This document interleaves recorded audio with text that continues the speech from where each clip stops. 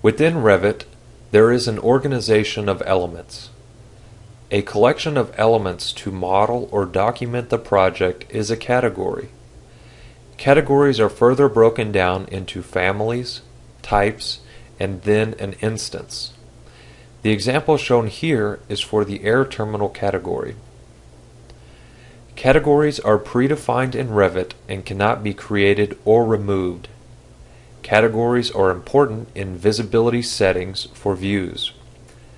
Back to the air terminal category, when the square diffuser and round diffuser families are created, they must be specified as air terminals so they will fall into the air terminal category. During the design, the electrical and plumbing teams do not want to see the air terminals, so they will turn off the air terminal category.